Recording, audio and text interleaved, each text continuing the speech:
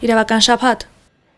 Հայաստանն ընդդեմ կոռուպցիայի, որտեղ Հայաստանը մենք բոլորս ենք տեղի ունեցավ հակակոռուպցիոն կոալիցիայի երկրորդ համաժողովը։ Ինչպես զսպել կոռուպցիոն ռիսկերը հարկային մարմիններում, ինչ լուծումներ են առաջարկում հարկային նորօրենսգրքի նախագծով։ Հայաստանում կոռուպցիայի դեմ պայքարն առաջնահերթություն է։ Այդ մասին են վկայում ինչպես գործադիրի ներկայացուցիչները, այնպես էլ միջազգային կառույցներն ու քաղաքացիական հասարակությունը։ Ապրիլյան պատերազմական գործողություններն ասեստապեցնող կոչ լինեին ուղված հասարակությանը եւ իշխանություններին, որը վկայում է մի հանգամանք։ Կոռուպցիան սպառնալիք է մեր երկրի ազգային անվտանգության համար։ Հայաստանում 3 մայիսի 13-ին տեղի ունեցավ հակակոռուպցիոն կոալիցիայի երկրորդ համաժողովը, որի ընթացքում շոշափվեցին արկամարտահրավերները։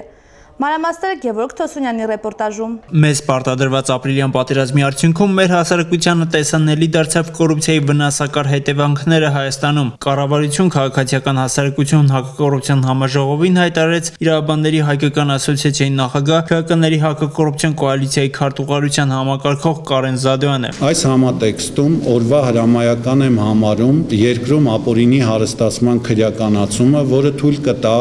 ապօրինի կերպով հարստացած ներ ներկա եւ նախկին պաշտոնյաներին ոչ թե ապորինի մեթոդներով կուլակաթափ անել, որի մասին ներկայումս ակտիվ քննարկումներ են ծավալվում լայն հասարակության շրջանում, այլ օրինական միջոցներով եւ միայն դատարանի որոշումներով պետությանը ոչ միայն վերադարձնել այդ պաշտոնյաների կողմից կൂട്ടակած ապորինի հարստությունները, այլ նաեւ նրանց ենթարկել օրենքով սահմանված քրեական պատասխանատվության։ Երկրորդ, հանրության շրջանում արդարադատության համակարգի, այդ թվում արդարադատություն իրականացնող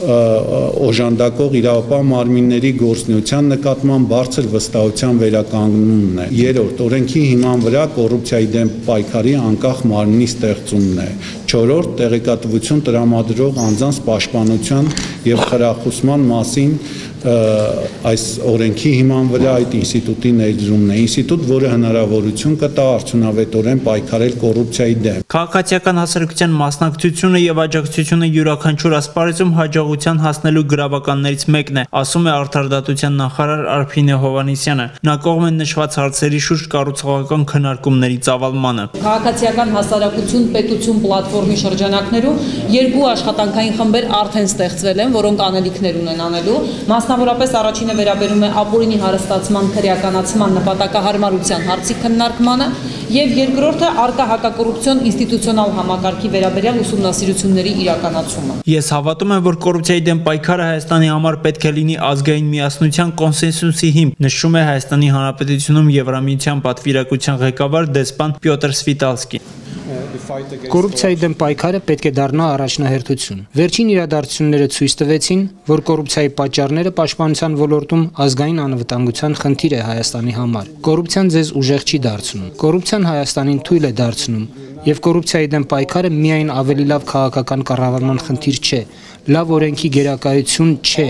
միայն ազգային հարստության արդար բաշխումը չէ։ Կոռուպցիայի դեմ պայքարը ազգային անվտանգության խնդիր է Հայաստանի համար։ Քաղաքացիական հասարակությունը նույնպես կարող է ուժ ստեղծել հասարակության շրջանում պայքարելու կոռուպցիայի դեմ, շեշտեց ԵԱԿ Երևանյան գրասենյակի ղեկավար դեսպան Արգո Ավակովը։ Քաղաքացիական հասարակության, պետության եւ մասնավոր ոլորտի միջև համագործակցությունն արդեն ստեղծված է։ Հուսով ենք, որ այն ել ավելի կամրապնդվի առաջիկայում։ Հարկային նոր օրենսգրքի նախագիծն արդեն իսկ արժանացել է կառավարության հավանությանն ու ուղարկվել ազգային ժողով։ Ոլորտի մասնագետներն էապես կարևորում են այս փաստաթուղթը, սակայն նաև նշում խնդրահարույց դրույթների մասին։ Ասղիկ Կարապետյանն անդրադարձել է այն խնդրին,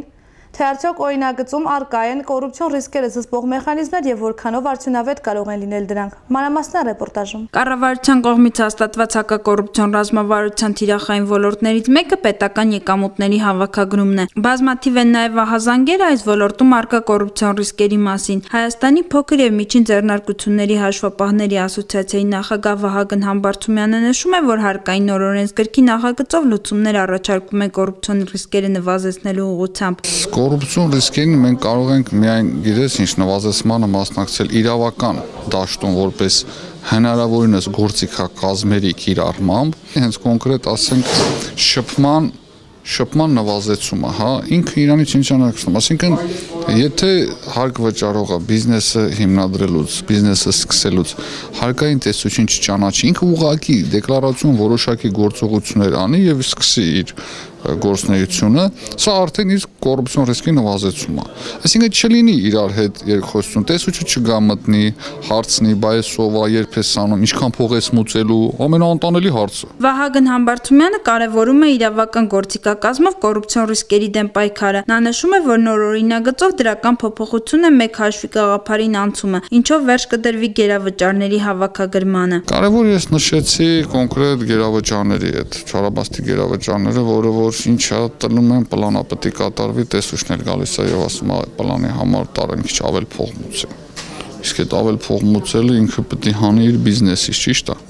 Իսկ բիզնեսից փող հանելը տեսություն չի հետաքրում, տեսություն մենակ մի բան է հետաքրում, պլանը կատարի։ Սա էլ բիզնեսը հանում է իր փողը եւ բնականաբար իմ համար իր համար խնդիր առաջացնում։ Եվ արդյունքում այդ գերավճար կոչված, երբ որ արդեն հիմա փոխվեց մեկ միասնական հաշվի գաղափարը ներդրվեց եւ դարավ գերավճար հասկացողություն անիմաստ, Այսինքն փողը մուծել ես, միջև ինքը հաշվակ չներկայացնի, ինքը չի նստելու բյուջեում։ Այսինքն ստացվեց արդեն տեսուչը ոչ թե է հարկ վճարողին ասի գնա փող մուծի, այլ ասի գնա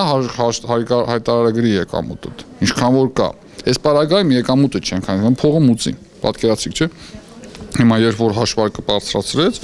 իսկ ես բարակում ինքը չի կարա գա հարկվճարուն ասի հաշվարկը ինչքան էլ բարձրացնի գալու մի պահ չէ որ իր իրականն է։ Սակայն փոքր եւ միջին ձեռնարկությունների համագործակցության ասոցիացիայի նախագահ Հակոբ Ավակյանը նշում է, որ կոռուպցիոն ռիսկերը նվազեցնելու կարևորագույն երաշխիքները հակակշիռներն ունենալն է, իսկ հարկային նորօրենս գրքի նախագծով այդպիսիք չեն առաջարկվում։ Պետք է